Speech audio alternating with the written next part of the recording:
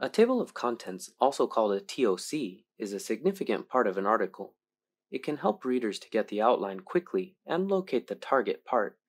In WPS, we can insert a table of contents in a convenient way. Click the blank page inserted at the beginning of the article. Get into the Reference tab and click Table of Contents. In the drop-down menu, we can choose from three styles of the table of contents, which presents in different layouts. Since we have heading 1, heading 2, and heading 3 in the article, in order to show all three levels, we should choose the third style from the list.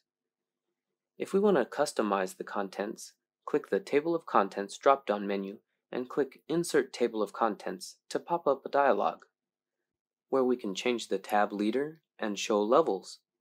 We can also change way of alignment for page numbers the effect preview is shown in the Print Preview interface on the right-hand side of the screen. Check the Use Hyperlinks option.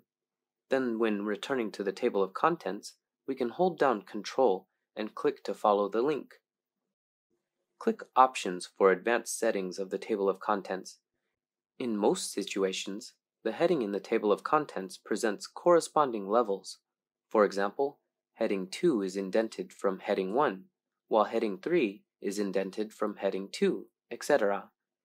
By changing the level of the heading, the corresponding heading level shown in the table of contents would also change. For example, when the title in heading 1 is changed to heading 2, the title would align with the heading 2 level. If we want to remove the table of contents, click the Table of Contents drop-down menu and choose Remove Table of Contents.